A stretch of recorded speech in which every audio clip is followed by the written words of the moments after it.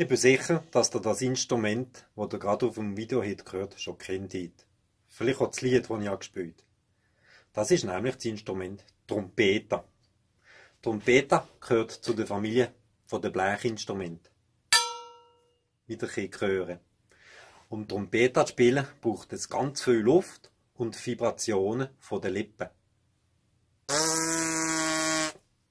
Das komische Geräusch mache ich dann in das Mundstück ein und blase so in die Trompeta. Trompeta gibt dem den schönen Ton, den man kennt.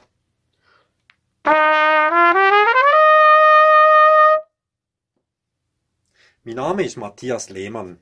Ich wohne in Antoni und unterrichte am Konservatorium zu Fribourg Trompeta und Euphonium. Ich unterrichte aber auch die Schmiede. Und wenn gerade ihr Lust hättet, das schöne Instrument lernen zu kennen oder zu lernen, dann bin ich gerne bereit, euch das einmal zu zeigen. Ich hoffe, wir sehen uns schon bald.